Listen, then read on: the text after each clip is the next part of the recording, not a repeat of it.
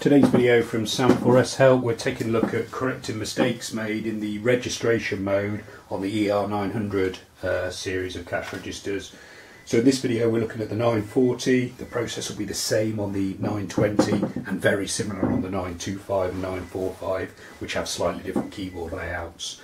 Okay, so there's a few mistakes you can make when you're processing sales transactions and how you clear them depends on the mistake. So the easiest mistake to clear is wrong um, numeric amount entered before you've assigned the numeric amount to a button. So if we wanted to type in 599 and assign it to one of our sales buttons, we type in 595 by mistake, all you do is press clear and it will just scrub the numeric entry off, meaning you can then hit 599 and sell that through the correct button.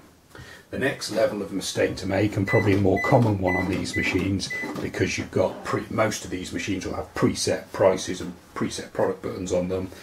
If you want to keep the last button you've pressed was incorrect, so doom bar half, I shouldn't have pressed that, I should have pressed doom bar point.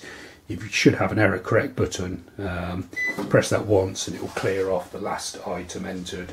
So you can then press doom bar point and carry on with the rest of the sale if you've made a mistake earlier in the transaction, so let's say we've added a few items here and the Guinness we just put in was incorrect, we can't use error correct because error correct only works on the very last button press, but we can use the void item. So you press void item, then the PLU you want to remove from the sale, so in this case Guinness, and it will take the Guinness from the sales transaction. I'll catch this one off so you can just see what prints out. So 3409, print the receipt out. So the first proper mistake we made was doom bar half, and we've corrected that with the error correct. And then later on we put in this Guinness, which was a mistake, and we've avoided the Guinness off there.